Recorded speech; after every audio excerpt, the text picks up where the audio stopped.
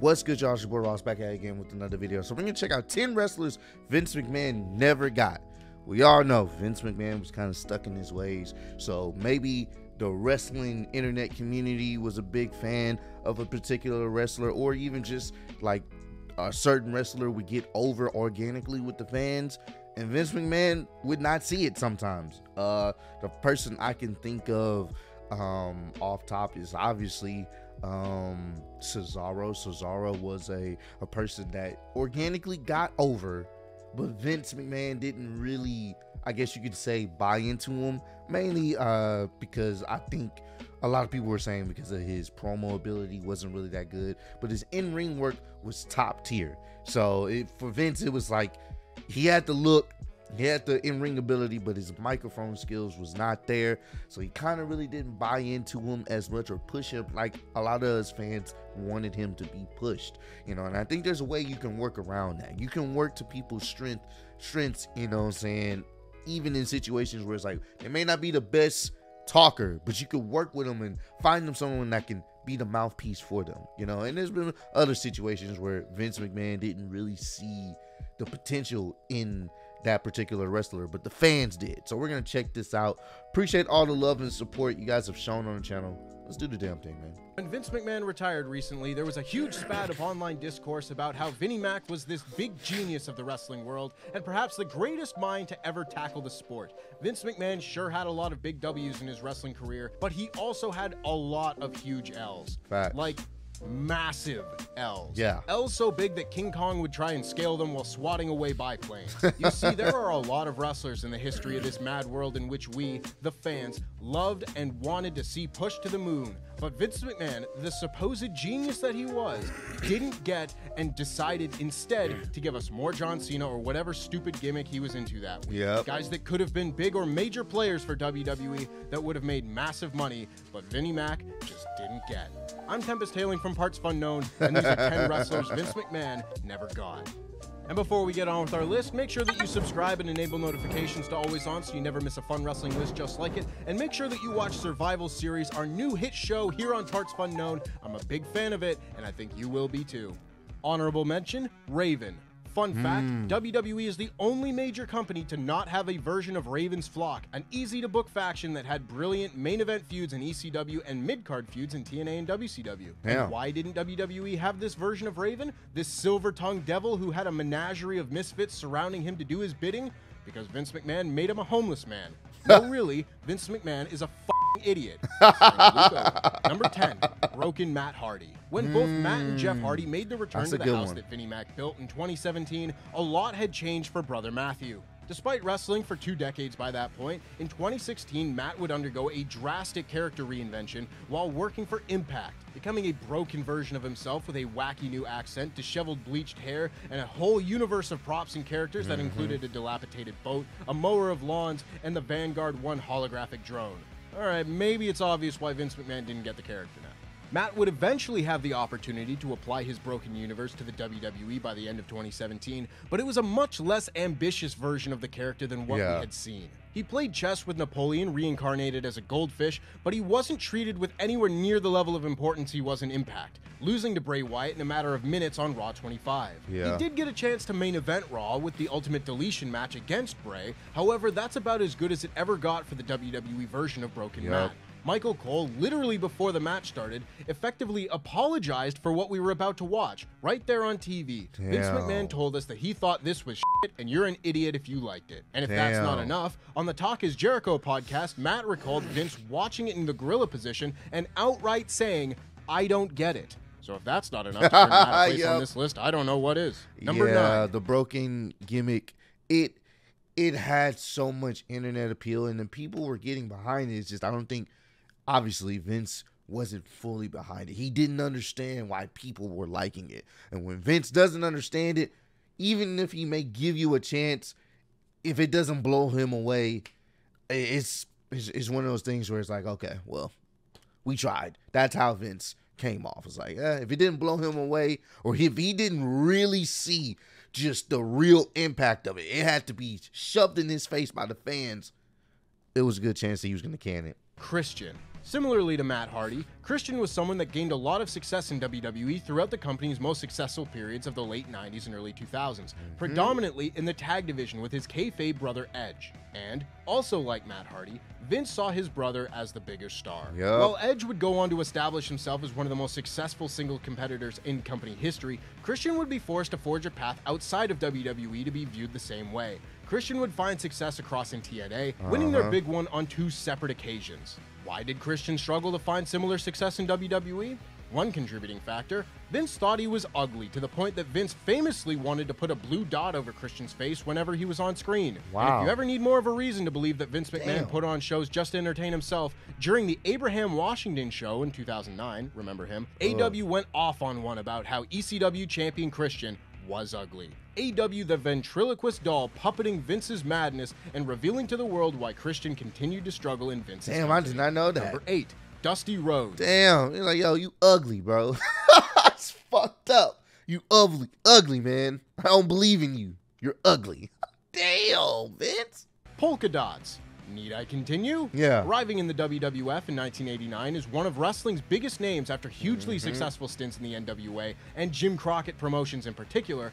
Vince seemed to be out to sabotage the American dream from the word go. The polka dots were perhaps a way to stick it to the man who worked for his competitors for so long, but regardless, Dusty took them in stride and still remained massively over. Yep. Rhodes would unfortunately reach nowhere near the same level of success, however, and would finish his active wrestling career in fairly unmemorable fashion. Dusty was approaching the end of his active in ring career by the time he arrived in the WWF, so was unlikely to be pushed to the main event during the era of Hulk Hogan Yeah. and the Ultimate Warrior. That wouldn't happen. However, his treatment seemed awfully counterproductive for Vince, as he was still such an asset despite his age. Dusty would leave in 1991 to become a booker for WCW, an occasional on screen character, only eventually returning to work for Vince in Mm-hmm. 2005. This time around, Dusty was rightfully celebrated for his legacy and would become a key figure behind the early days of NXT Yep. until his passing in 2015. Rest in peace. Number 7, Cesaro. Ah, in late I 2014, called it. I said it. And I said it at the beginning of the video. Cesaro is one of those guys that the fans love, but Vince wasn't really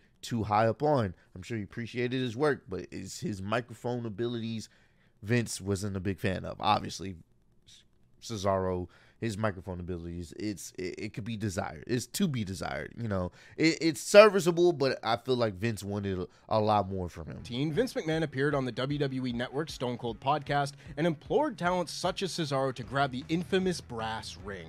According to McMahon, the reason for Cesaro's lack of a serious push by that point was because he lacked it.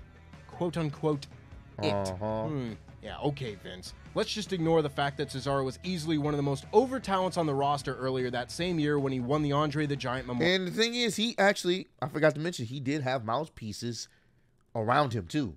You know, and I think at one point he was aligned with Paul Heyman, and then I believe he was aligned with Zeb Colter, all this other stuff. But it, once again, Vince was just like, nah, I don't get it. I don't see it yet. Memorial Battle Royal. The aforementioned Battle Royal win seemed destined to be the catapult for Cesaro to get to the main event spot that he so rightly deserved, but instead it led to an ill-advised heel run and partnership with mm-hmm. Paul Heyman. While Cesaro could have undoubtedly benefited from having a legendary mouthpiece like Heyman by his side, he always felt like an afterthought to Brock Lesnar throughout this run and was never quite Heyman's main attraction. Yeah. In the years following this, Cesaro would achieve success, most notably perhaps as one half of the bar with Sheamus, but he would only get very minuscule tastes of the main event scene prior to his departure in 2022. Cesaro had all the tools to become a main event presence in WWE.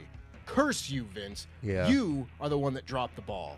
Number six, Diamond Dallas Page. Hmm. Following WWE's victory in the Monday Night Wars against WCW, it was inevitable that Vince would look to ingest as much of the former competition's talent as he could to bolster his roster. That is, if their contract wasn't too big, in which case, by all means, sit out. However, as we've already learned, Vince McMahon is a very, very petty man. Very and when it came to the WCW roster, it was evident that he rarely ever wanted them to look as strong as his WWF loyalists. There was perhaps no greater example of this than Diamond Dallas Page. A WCW mainstay and former three time World Heavyweight Champion, Page was a perennial babyface and an unlikely star for Ted Turner's company. So, given the popularity of Page, what kind of character would Vince McMahon design for Page's eventual debut? Any guesses? Well, if you said creepy voyeuristic stalker, Yep. you are correct.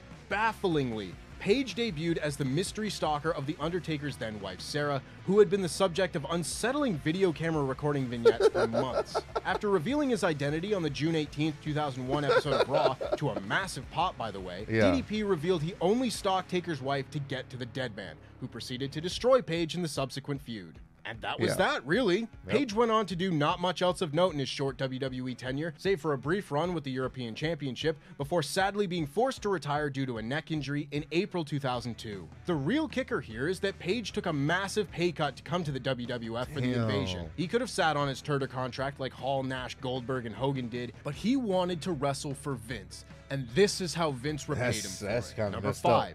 Taz. Oh, Taz Yet another popular act from a rival company. Taz, despite a relatively small stature, was a man to be feared during his time in ECW. The Mm-hmm. human suplex machine was a legit badass that carried himself as such and would become one of Paul Heyman's biggest success stories, winning pretty much every title he had to offer across a six year spell in ECW. Taz's WWF debut at the 2000 Royal Rumble might be the most perfect wrestling debut ever. He came out to a huge New York pop. Mm-hmm. He destroys the unbeaten Kurt Angle and puts him to sleep with an illegal chokehold. But the problem was he came from ECW, Yep. which means Vince took one look at him and said, "Well, you're the hardcore guy now then." So Taz Uh-huh. went from beating the unbeatable future WWF champion to feuding with the Big Boss Man and Prince Albert. Next thing you know, that's it for Taz. He teamed with fellow ex-ECW alumni Raven for a forgettable tag run, and then, just one year after an incredible debut in the Rumble, he was eliminated from the 2001 Royal Rumble in a matter of seconds with a sign that said, "My crap is bigger than Taz," which might as well have been written by Vince McMahon himself. As previously mentioned, Taz was not the biggest individual, and in the land of the Giants, this is always likely to work against you. After Yeah. numerous injuries, Taz would successfully transition to commentary and become a staple of the SmackDown booth alongside Michael Cole. As good as Taz was and still is at commentary, it is hard not to ask what if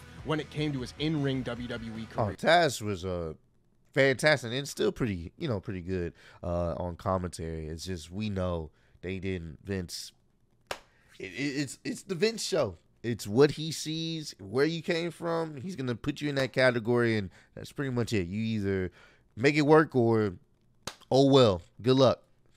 Number four, Zack Ryder. When it comes to who Oh, gets pushed in. WWE, very rarely did Vince McMahon not have Woo, 99.99% Zack was of the super same over, things. bro. So, if you're not seen as a star in his eyes, I hope you enjoy sitting in catering, pal. Nobody perhaps fit this bill more than Zack Ryder, or maybe Mm-hmm. Primo or JTG. For real, it felt like those two were employed forever. And to Zack Ryder's credit, however, he was not simply content with languishing away. Instead, he would start up He his very own YouTube channel over. and begin a That series so known as. Z True Long Island Story. The series garnered Ryder a massive following throughout 2011, leading to fans hijacking shows with We Want Ryder chants until WWE were forced to take notice. Now you've got to remember, this was before YouTube was this major thing that it is now, and wrestling Twitter was still in its infancy. However, we were hastily reminded that more often than not, if you go against the will of Vince McMahon and get yourself over organically without WWE's backing, you will Yep. duly be brought back down to earth. Despite throwing up. Ryder a bone by giving him a United States Championship run in late 2011, he was well and truly dismantled and I had to. I knew this was gonna be the image. Once they threw him off the stage with a neck brace, I I knew he was dead. He was done. That whole Eve Torres and John Cena storyline, I, I knew he was finished. Vince was done with him. He got over organically without WWE help only for him to get pushed off the stage into oblivion. humiliated on TV constantly in early 2012. Look at that. Specifically throughout John Cena's rivalry with Kane and on-screen romance with Eve Torres. Yep. The icing on the cake was getting kicked square in the gonads by Torres at WrestleMania 28, effectively extinguishing the Ryder fire for good and sending him back to catering for eight more years. WWE spent all of 2011 burying Twitter because guys like Ryder got over because of it. Yep. fast forward one year and they're slapping the trending sticker over the end of an era segment like that's what matters at that moment. Had Ryder gotten himself over on Tout, maybe things would have been different. Number three, Cold. The Fiend. After six Oh, years of yeah. character mismanagement, the spring of 2019 saw a true revival for Bray Wyatt. No longer the swamp dwelling cult leader, and instead a children's TV show host carrying Which extremely unsettling undertones, the birth of the. Firefly Funhouse was a breath of fresh air for Bray and WWE. Though it should be noted that the Firefly Funhouse was literally born out of those six years of bad booking. At the center of all of it, however, was Bray's new alter ego, The Fiend, who provided one of the most truly unsettling character designs in wrestling history and gave Bray a new horror villain character that was simply indestructible. That is, unless you're going up against a 53 year old Goldberg. Oh, yes. In what is still arguably one of the worst booking decisions of all time, The Fiend was fed to Oldberg after months of dominance. Just baffling. Awful. Proving precisely why The Fiend should have been kept away from the title scene in the first place, Yep. the mystique of the character was damaged beyond repair at that Yep. point. And that was a few months after the Hell in a Cell debacle. And it's not even getting into the maddening Randy Orton storyline that went on for months and had no satisfying conclusion outside of Randy Orton squashing The Fiend at WrestleMania. Absolutely atrocious for such a creative character, for Vince McMahon, the supposed creative genius, to have no idea how to book him. Vince and Bray notoriously clashed creatively very often, which would eventually lead to Wyatt getting released and receiving the difficult to work with label, mm-hmm. effectively meaning that Bray simply called McMahon out for his garbage creative. Thank God this wasn't the final chapter for Wyatt in WWE, Yep. as it once seemed to be. Number and 2 I'm so glad that he's, you know, he's able to kind of, you know, have his creative freedom, but they don't let him go too overboard. You know what I'm saying? And I, and I like what they're doing with him now, man. I've said this time and time again. Bray Wyatt should have never been a one to go for the title. That's not his mo. His mo is never when when they created the break the the fiend gimmick. It wasn't for him to go after the title. It should have been for him to rain terror on everyone. You know what I'm saying? I, I it would have it would have made sense. Kept him from the title scene for a little bit. You know what I'm saying? At some point, maybe put him in the mix. But once again, a character like that doesn't really need the title to be over. You know what I'm saying? So, but either way, hey, you know things happen for a reason, and now we have Bray doing what he's doing now. Dean Ambrose. This is another Seeing John one. Moxley flourish in AEW as a no-nonsense, foul-mouthed badass has truly shown just how much WWE and Vince McMahon missed the mark with his character. Despite showing glimpses of his current best, the WWE version of Dean Ambrose always felt like a bit of a caricature. Yeah. Ambrose was labeled as unhinged and a lunatic, but often came off as a bit corny and not a balanced blending of the character and the real person at times. Mm-hmm. And when WWE attempted to change Ambrose's character after many years with his 2018 heel turn, it was so dreadfully botched that it provided They- the nail in the coffin up, for bro. Ambrose's WWE tenure. What could have been the catalyst to see Ambrose lose the shackles and show that rougher side instead saw him get dressed up as a wish version of Bane and get inoculations on camera to protect himself from the WWE universe. Yeah. Had it been a year and a half later, he might have been onto something. Rewatching that segment in particular, though, is painfully evident just how bad Mox knew the material he was given was. Nothing more than the creatively devoid you people are disgusting heel heat that was Yeah. so beneath Mox's That talent. was so Just let. Mox be Mox, Vince. Why did you have to make everything so lame? And number one, almost every NXT call up ever. There we go. Karrion Kross, Keith Lee, The There. Ascension, Tyler Breeze. Bobby Roode, Keep The going. Revival, Rusev, Tye Yep. Dillinger, Yep. Aleister Black, Yep. Andrade, EC3, Yep. The Viking Yep. Raiders, Sanity. AOP, Hit. Row. American Alpha, Hideo. Itami, Pete Dunne. Yep. Okay, breathe. Probably forgetting a few, but is there anything Yep. more to say there? While there have been numerous NXT alumni that have successfully made the transition to a Vince McMahon led main roster, the number of botched call ups is truly staggering. And while some have stuck around or found their way back to the company recently, so many have slipped through WWE's grasp, which is a huge shame. The sheer frustration caused in seeing a character being developed for years in NXT, only to be completely gutted on the main roster, was painful. Some were given helmets, Oh some were given totally random nicknames. Yep. Bearcat, anyone? And some were made a mute, like EC3, because of, you know, reasons, I guess. Vince almost certainly got some sort of sick pleasure from the whole thing. That truly evil man. Thankfully, NXT is no longer treated like the ugly stepchild of the WWE, and things are looking up. The reign of McMahon terror is over. Long live the McMahon Helmsley Khan era, I Yeah. guess. yeah, that sounds about right. WWE, WWE, WWE. And that's our list. Did we forget? Hey, he he was spot on with the number one spot. All in it, most the majority of the NXT call ups have been fucking underutilized, but some of them are being able to you know fix their uh fix their uh character development and hopefully going forward any more NXT call ups won't have to deal with just being instantly screwed over and damn near buried before you even actually get a chance to show your talents to more of the casual audience, man. So comment down below. Let me know which wrestler you feel like Vince truly dropped the ball on. If they were on this list or not on this list or mentioned, let me know down below. But I appreciate all the love and support you guys for showing on the channel. Road to 150k. Appreciate y'all kicking with me. See the next one. Peace.